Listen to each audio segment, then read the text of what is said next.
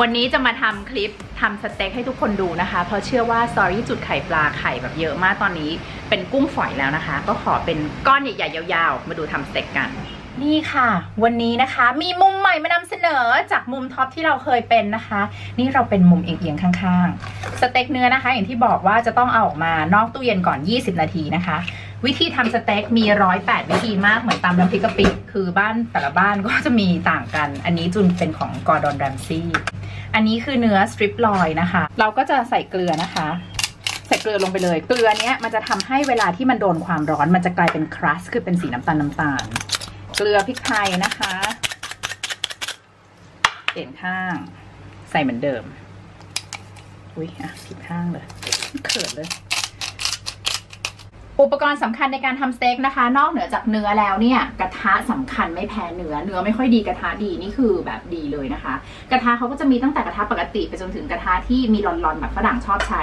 ที่เวลาเราทำสเต็กแล้วมันจะเป็นรอยสเต็กอะค่ะจุงเคยลองใช้อันนั้นมาแล้ว แต่ว่าจากการขนขวานะคะเขาบอกว่าถ้าเกิดไม่มีรอยเลยเรียบๆเนี่ยจะดีกว่า เพราะว่าเจอความร้อนฉ่าขึ้นมาเลยต้องทำให้กระทะร้อนจนควันขึ้น เพราะต้องจำไว้ว่าเราทอดเนื้อเราไม่ต้มเนื้อนะคะ อันนี้คือเพิ่งซื้อมาก็ไม่ได้มีผลอะไรมากมีผลทางใจ เราก็จะเอาไว้กดเนื้อนะคะ แล้วก็มีเนยนะคะ เนยอย่างที่บอก เนยจืดเนยเค็มอะไรได้หมด อันนี้คือเนย herb แล้วก็ต้องมีใบไทม์ใบไทม์เนี่ยจะช่วยเพิ่มกลิ่น เพิ่มรสชาติให้กับเนื้อนะคะ และกระเทียม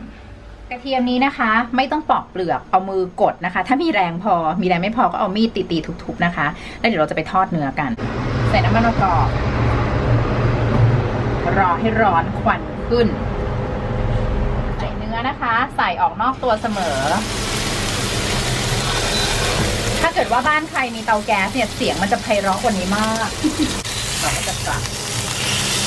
บางสูตรเนี่ยคือเขาจะไม่ให้กลับเนื้อบ่อยนะคะ แต่อย่างของกอร์ดอนแรมซี่เนี่ยเขาให้กลับบ่อยๆเพื่อที่จะให้ความสุกเนี่ยค่อยๆสุกขึ้นมาทีละข้าง ข้างๆด้วยนะคะ ถ้าเกิดบ้านใครเป็นเตาแก๊ส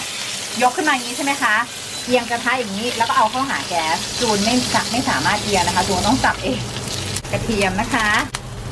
ใส่เนยลงไป พอเนยละลายนะคะ เดี๋ยวเราจะจะต้องเอา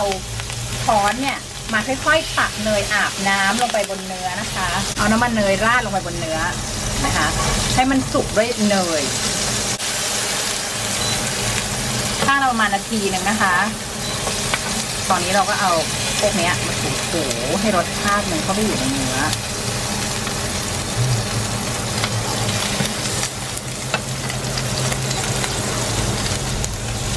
นนี้ทอดนานไปนิดหนึ่งก็คือให้ทอดให้เป็นความสุกน้อยกว่าที่เราต้องการนะคะ เพราะเราต้องมาห่อฟอยล์อย่างนี้ ให้เนื้อเนี่ยมันค่อยๆซึมซับน้ำเนื้อทั้งหมดที่เราทอดไว้นะคะห่อไว้ในนี้ประมาณ 5 นาที น้ำเกรวี่นะคะ นี่คือน้ำเนื้อแสนอร่อย สามารถใส่แป้งนะคะ แล้วก็ใส่แยมที่มีในตู้เย็นได้เลยอ่าขอให้มาดูเนื้อใกล้ๆค่ะ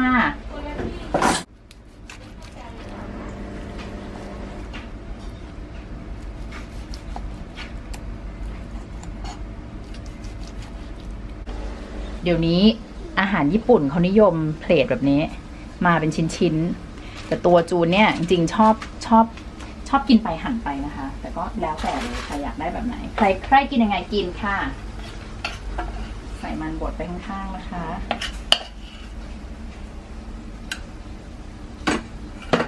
ใส่เฮิร์บลงไป